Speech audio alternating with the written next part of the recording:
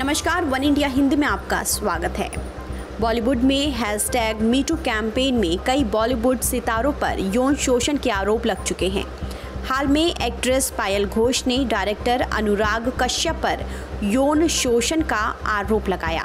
उन्होंने अनुराग के खिलाफ रेप की शिकायत भी दर्ज कराई, लेकिन अब एक्ट्रेस पायल घोष ने एक ट्वीट करके सबको चौंका दिया है। ट्वीट करके उन्होंने खुद के ही मर्डर की आशंका जताई है।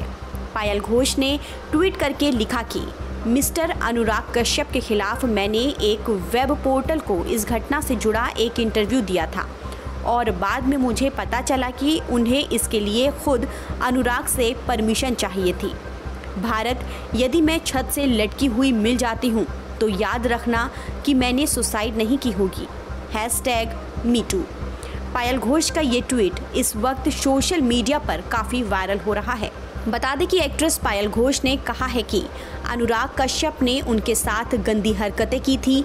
उन्होंने सोशल मीडिया पर पोस्ट के ज़रिए न्याय के लिए पीएम मोदी से भी गुहार लगाई है।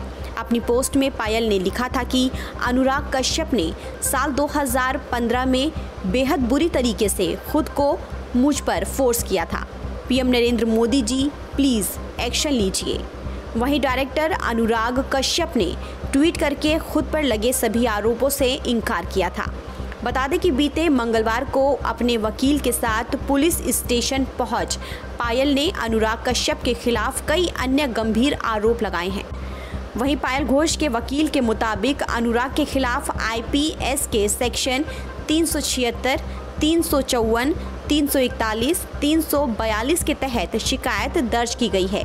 फ़िलहाल इस खबर में इतना ही। देश और दुनिया की तमाम खबरों के लिए आप बने रहिए वन इंडिया, हिंदी के साथ।